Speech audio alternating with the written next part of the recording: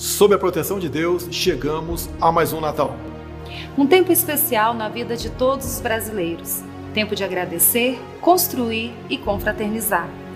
Estamos finalizando mais um ano. Um ano de muitas dificuldades. Contudo, não nos faltaram seriedade, dedicação e espírito fraterno no planejamento e na construção de políticas públicas em prol de todas as famílias. Com dignidade e respeito ao próximo, não economizamos esforços para apoiar a todos, em especial os mais vulneráveis. Não nos afastamos em nenhum momento do que acreditamos e defendemos: Deus, pátria, família e liberdade. Agradecemos a cada brasileiro pela confiança em nosso país.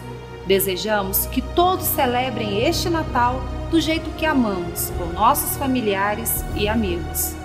Temos a honra de desejar a você e a sua família um Natal abençoado e repleto de alegrias. Que 2022 seja um ano de esperança, conquistas e realizações. Que Deus proteja as nossas famílias. Muito obrigado.